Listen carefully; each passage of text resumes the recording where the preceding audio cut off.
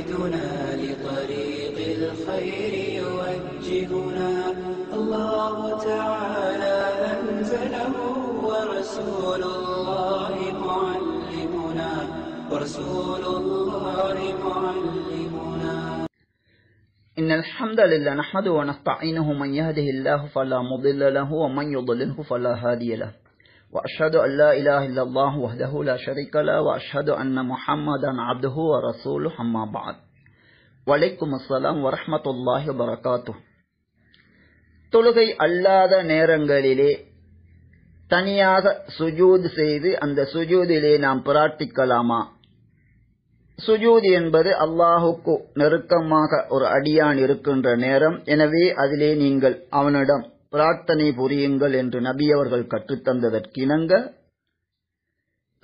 சுஜூதிலே பிரார்த்தனை செய்வதென்பது தொழுகையில் உள்ள சுஜூதுகளிலே பிரார்த்தனை செய்வதா? அல்லது தனியாக சுஜூத் செய்தும் நாம் பிரார்த்தனை புரியலாமா? அல்லாஹுக்கு நன்றி செலுத்தும் பொருட்டு இவ்வாறு சுஜூத் செய்து அதிலே நாம் பிரார்த்தனை புரியலாமா? என்று அடுத்ததாக மற்றொரு கேள்வி கேட்கப்பட்டுள்ளது.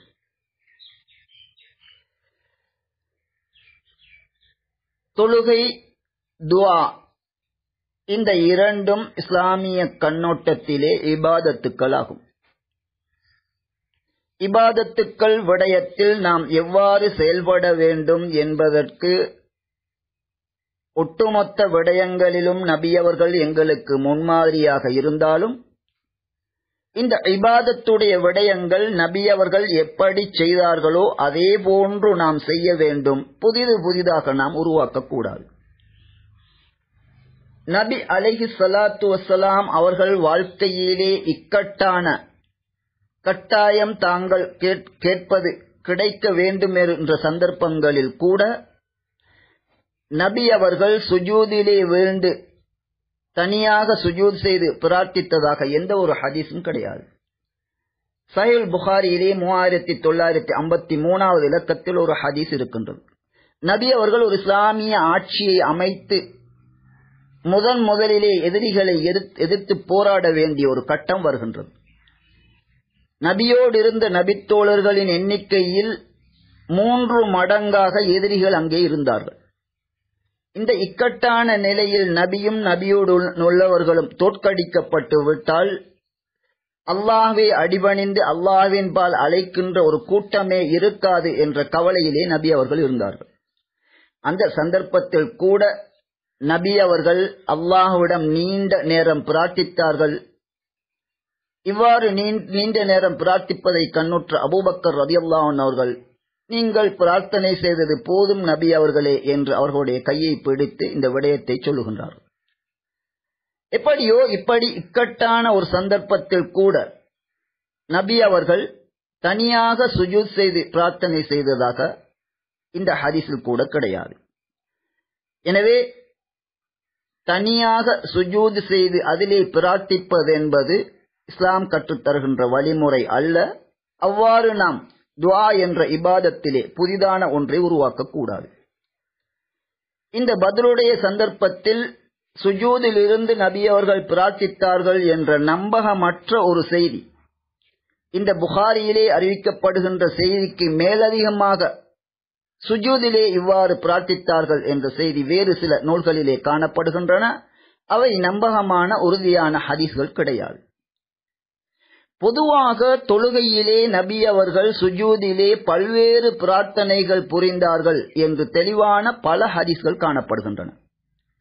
எனவே தொழுகையிலே சுஜூதிலே பிரார்த்தனை புரிவதுதான் நபி அவர்கள் துவாவிலே கற்றுத்தந்த வழிமுறையை அன்றி தொழுகையிலிருந்து தனியான சுஜூத் என்ற பகுதியை பிரித்தெடுத்து தனியாக சுஜூத் செய்வதென்பது இது நபி அவர்கள் இஸ்லாத்திலே கற்றுத்தந்த முறைமை அல்ல அதனை நாம் ஒருபோதும் செய்யக்கூடாது. அதே நேரத்தில் நன்கு செலுத்துவதற்காக சுஜூதிலே வீழ்ந்து சுஜூதிலே பிரார்த்தனை புரியலாமா என கேட்டிருக்கின்றீர்கள்? தனியாக சுஜூத் செய்து பிரார்த்தனை புரிவது இஸ்லாத்தில் உள்ளதல்ல என்பதை சொல்லிவிட்டோம். அதே நேரம் வெறுமனே நன்றி செலுத்துவதற்காக சுஜூதிலே வீழ்வதென்பது இதனை சஜிதத்து ஷுக்குர் என்று சொல்வார்கள். நன்றி செலுத்துவதற்காக சுஜூதிலே வீழ்வதென்பது இது நபியுடைய காலத்திலே இருந்த ஒரு அம்சமாகும். சயுல் புகாரியிலே நாலாயிரத்தி நானூத்தி பதினெட்டாவது இலக்கத்தில் இது பற்றிய ஹதீஸை நாம் காணலாம். மூன்று நபித்தோழர்கள் அவர்கள் செய்த தவறின் காரணமாக அவர்களோடு எந்த முஸ்லிமும் கதைக்க கூடாது என்று நபி அவர்கள் தடை விதித்திருந்தார்கள் இந்த தடை நீண்டு சென்று ஐம்பது நாட்கள் வரை இது நீண்டு சென்றது. இறுதியிலே இந்த மூவரும் தடை செய்யப்பட்ட இந்த காலங்களிலும் அல்லாஹுடைய தூதருடைய வழிகாட்டல்களுக்கு ஏற்ப முறையாக நடந்து கொண்டதன் அடிப்படையிலே அந்த மூவருக்குமான மன்னிப்பு அல்லாஹினால் நபி அவர்களுக்கு அறிவிக்கப்படுகின்றது. ஃபஜிர் தொழுகையின் பிறகு நபி அவர்கள் இந்த மன்னிப்பை மக்களுக்கு அறிவிக்கின்றார்கள். இந்த மூவரில் ஒருவரான காபின் மாலிக் அவர்கள் தங்களது வீட்டிலே ஃபஜ்ர் தொழுகையை தொழுதுவிட்டு மேல் மாடியிலே அமர்ந்திருக்கின்ற போது நபி அவர்களின் அறிவிப்பை செவிமடுத்த ஒரு சிலர் மலைகளின் உச்சிகளுக்கு ஏறி இந்த காபின் மாலிக் அவருடைய பெயரை கூறி நற்செய்தி பெற்றுக் கொள்வீராக என்று உயர்ந்த குரலிலே சொல்லிவிட்டு அவரை நோக்கி அவரது வீட்டுக்கு செல்கின்றார் இந்த நற்செய்தி காதிலே விழுந்த உடனேயே இந்த நபித்தோழர் நிலத்திலே வீழ்ந்து அல்லாஹுக்கு நன்றி செலுத்துவதற்காக சஜதா செய்கின்றார். எனவே இவ்வாறு நபியுடைய காலத்தில் அல்லாஹுக்கு நன்றி செலுத்தும் பொருட்டு சுஜூதிலே வீழ்வதென்பது இது இஸ்லாத்தில் உள்ளதாகும்.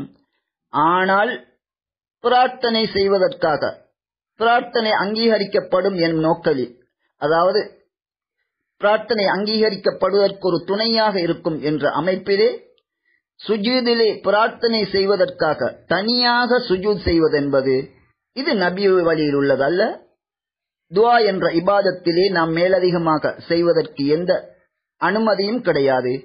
நபி அவர்களை போன்று நபி அவர்கள் கற்றுத்தந்த விதத்திலே பிரார்த்தனைகளை நாம் அமைத்துக் கொள்ள வேண்டும். ஆகவே தனியாக சுஜூதிலே விழுந்து பிரார்த்தனை செய்வதென்பது நபி அவர்கள் கற்றுத்தந்த முறைமை அல்ல. துவா என்ற இபாதத்திலே நாம் புதிதாக அவ்வாறு செய்வதற்கு அனுமதியும் கிடையாது. நன்றி செலுத்துவதற்காக மட்டும் ஏதேனும் ஒரு சந்தர்ப்பத்தில் அல்லாஹுக்கு நாம் நன்றி செலுத்த நாடினால் அதற்காக சஜிதா செய்வதென்பது நாம் மேலே சொன்னவாறு இது நபியுடைய காலத்திலே உள்ள ஒரு விடயமாகும். இதனை ஒரு முஸ்லிம் செய்வதென்பது சாத்திலே வரவேற்கத்தக்க ஒரு விடயம். அதே நேரத்தில் தனியாக சுஜூத் செய்து பிரார்த்தனை செய்வதென்பது இது ஒரு பிழையான காரியம் இபாதத்துடைய விடயத்தில் புதிதாக ஏற்படுத்தப்படுகின்ற காரியமாகும். இபாதத்துடைய விடயத்திலே நாம் ஒருபோதும் புதிதாக எந்த ஒரு காரியத்தையும் ஏற்படுத்தக்கூடாது. அது நாம் எதிர்பார்க்கின்ற நலவுகளுக்கு மாற்றமாக எங்களுக்கு நஷ்டங்களையே கொண்டு வந்து தரும். எனவே நபி அவர்களை பின்பற்றி சுஜூதிலே பிரார்த்தனை செய்ய விரும்பினால் தொழுகையில் உள்ள சுஜூதுகளிலே மட்டும்தான் நாம் பிரார்த்தனை செய்ய வேண்டும். தனியாக பிரார்த்தனை செய்வதற்காக சுஜூத் செய்வது என்பது சாத்தில் உள்ள காரியம் அல்ல.